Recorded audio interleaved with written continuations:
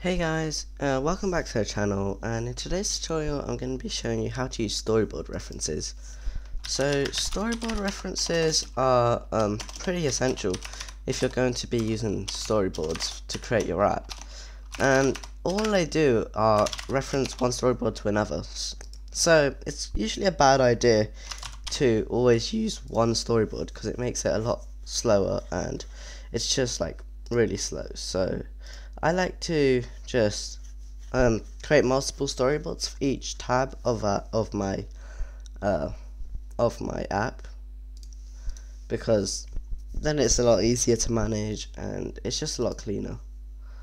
So what I'll do is oh yeah and your app will always start on main.storyboard well actually starts on launch screen and then it goes to main.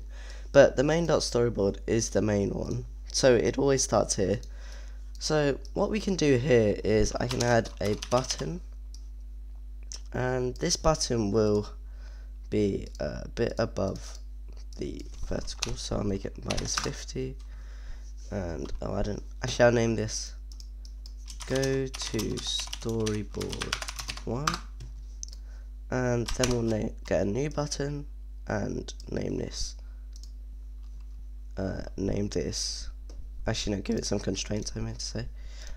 Uh, we'll just name this go to storyboard. Go to storyboard 2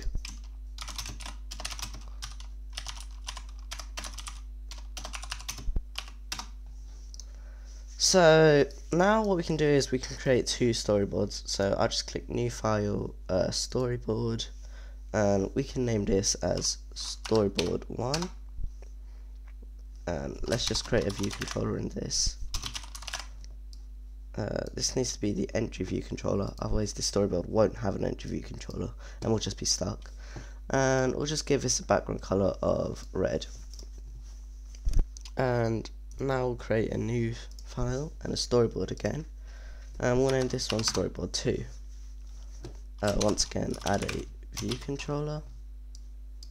Uh, make this initial and then we'll just give this a background color of teal. So now the only thing we need to do is add some segues. So no, actually first we need to add a storyboard reference.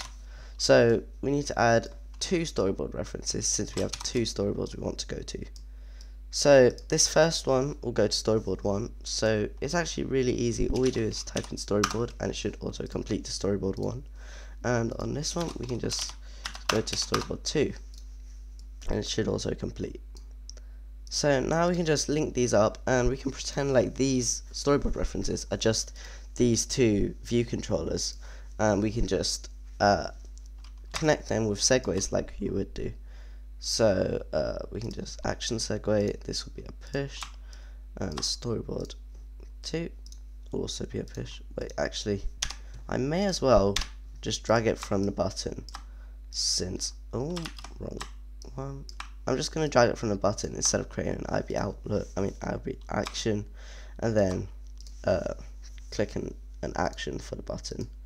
So now all we can do is we can run this and this should be enough. So once we're in this storyboard or a different storyboard we can just create a whole new uh, line of view controllers and it will all be the same as if you're using the main storyboard.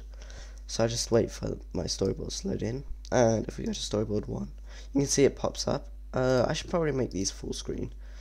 Uh, full screen and storyboard 2 will also be full screen but you can just see how it like just refers to them as another view controller so there and you can change that segue whatever you want but that doesn't really matter so, thanks for watching guys, and I'll see you in a future tutorial. Bye!